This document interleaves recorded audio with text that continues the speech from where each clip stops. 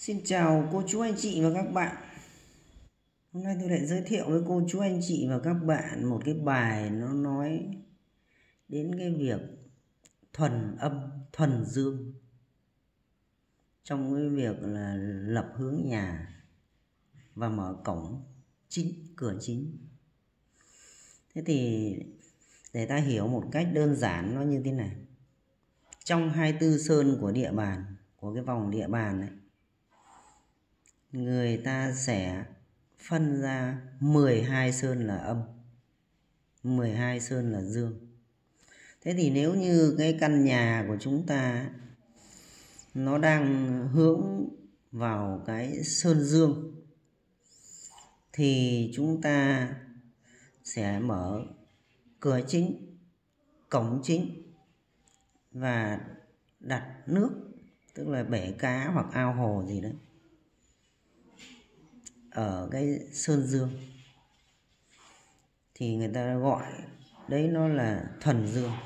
Còn nếu như nhà của chúng ta đang ở cái hướng hướng âm thì cổng, cửa và bể cá cảnh chẳng hạn, thì cũng nên đặt ở các cái sơn âm. Thì đấy người ta gọi là thuần âm thuần dương hay còn gọi là tịnh âm tịnh dương. Nếu như nó trái ngược nhau ấy, nhà mà hướng dương mà đặt cổng cửa ở sơn âm ấy, thì nó gọi là âm dương hỗn tạp thì nó sẽ sinh ra gia đạo bất an. Trong nhà nó thường lục đục cãi vã bất hòa thì nó dẫn đến cái việc là làm ăn nó không phát triển được nên tôi chia sẻ cái bài này để cô chú anh chị và các bạn. Nếu như ai đam mê về cái bộ môn này thì đây là nó là những các cái kiến thức cơ bản trong cái việc lập hướng nhà và hướng mộ. Hướng mộ cũng thế. Nếu như mộ của chúng ta cái hướng hướng dương ấy, thì cũng nên để cái cái cái cửa cái cổng vào. Nó cũng ở các cái sơn dương mà khu mộ ở hướng âm thì ta nên mở cái cổng của lăng mộ ở sơn âm. Đấy người ta gọi là tịnh âm tịnh dương. Thế thì trong cái vòng tròn 24 sơn của địa bàn này người ta đã phân ra rõ rệt những cái sơn âm và những sơn dương thì trong tất cả các cái la kinh, hầu như tiếng Việt hay tiếng Trung cũng thế. Ở cái vòng địa bàn ấy, người ta sẽ viết ra hai màu chữ, đen và đỏ. Mục đích là để cho chúng ta phân biệt sơn nào là sơn dương, sơn nào là sơn âm. Và các cái sơn âm dương này nó là mặc định của trời đất rồi. Để cho chúng ta luận.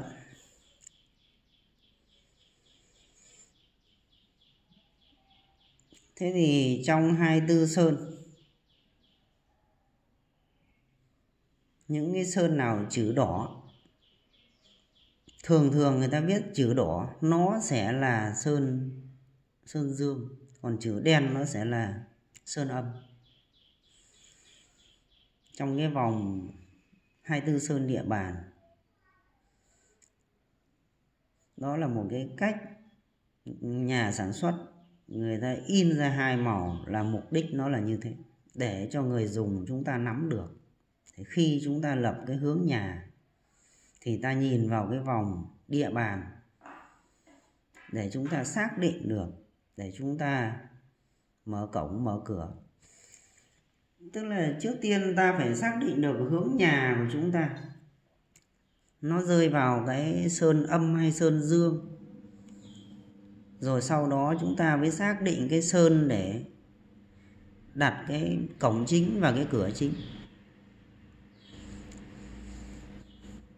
Đây là dành cho cái đất rộng ấy. chúng ta mới áp dụng được cái bài này. Chứ còn cái dạng nhà nhà phố nhà ống nó có 4 5 mét chiều ngang ấy, thì hướng nhà ở đâu thì cửa là ở đấy rồi thì nó sẽ là thuần âm hay là thuần dương thì nó nó sẽ là thuần. Chứ nó không có thể là chặt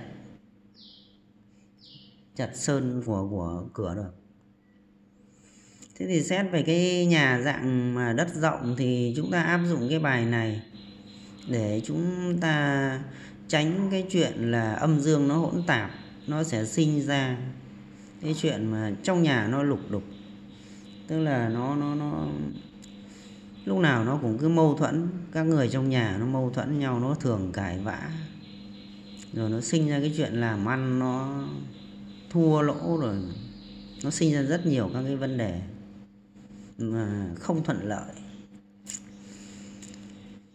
Thế thì như trong tất cả các cái la bàn ấy, cái la bàn nào người ta cũng cứ in ra hai màu như thế, và các cái sơn âm hay sơn dương nó là mặc định rồi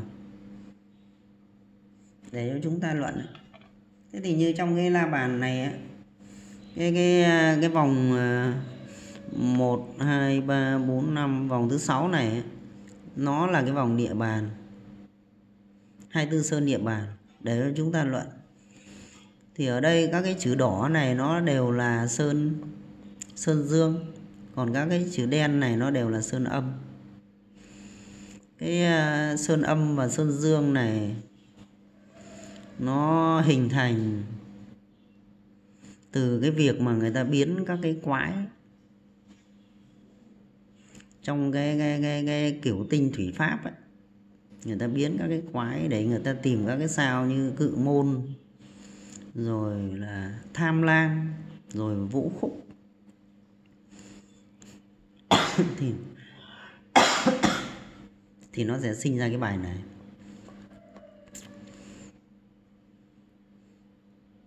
Đó là một cái nội dung cơ bản để cho chúng ta nắm được trong cái việc lập hướng nhà và tìm cái vị trí đặt cổng, đặt cửa chính. Có những cái nhà mà chúng ta, nó, đất nó rộng, chúng ta làm mặt tiền nó nó dài, nó có thể là 10 mét 12 mét mặt tiền.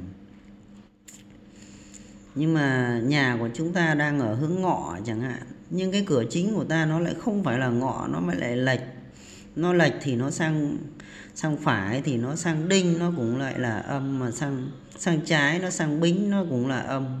Thì là tuyệt đối xấu.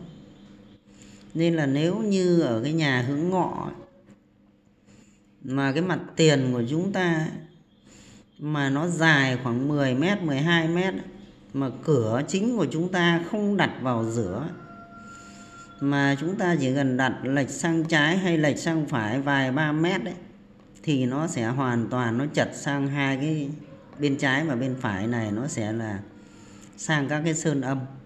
Nó gọi là âm dương hỗn tạp, tức là cái vị của cửa và cái hướng của nhà, nó không cùng âm cùng dương. Bởi vì riêng cái sơn ngọ này chỉ có một mình sơn ngọ nó là dương. Còn bên trái nó và bên phải nó thì toàn là các cái sơn sơn âm. Nên nếu như cái nhà nào mà nhà hướng nam hướng ngọ ấy, thì ta đặt cổng chính và cửa chính cũng nên lưu ý ở cái đoạn này. Đấy đó là một cái vấn đề mà nó thường hay xảy ra với rất nhiều cái nhà hướng nam mà đất rộng. Mà chúng ta mở cổng thì lừa thường là cứ mở lệch sang trái hoặc sang phải mấy mét đấy, thì nó sẽ sinh ra cái chuyện là âm dương hỗn tạp. Thì nếu như một cái ngôi nhà như thế này, thì theo như sách vở người ta cho biết thì trong cái quá trình chúng ta ở các cái ngôi nhà như thế này thì thường là mâu thuẫn trong gia đình. Tất cả các thành viên trong gia đình thường hay mâu thuẫn. Nó sinh ra cái chuyện là cãi vã, rồi sinh ra cái chuyện tiêu cực từ đây. Tôi giới thiệu sơ qua về cái nội dung cái bài này để cô chú anh chị và các bạn cùng tham khảo. Ai có nhu cầu sử dụng cái la kinh này và cái cuốn sách nói về thuần âm thuần dương tức là cái cuốn sách này nó là một cái cuốn nói về um, kiểu tinh thủy pháp của lai bố y. Thì nó nói đến cái bài này. Tức là cái cuốn sách này ấy, người ta đã lược ra cho ta tất cả các cái sơn các cái hướng. Như thế nào là thuần âm như thế nào là thuần dương để cho chúng ta sử dụng. Ai có nhu cầu sử dụng thì xin liên hệ với tôi theo số 0986 217 320 thân ái chào cô chú anh chị và các bạn.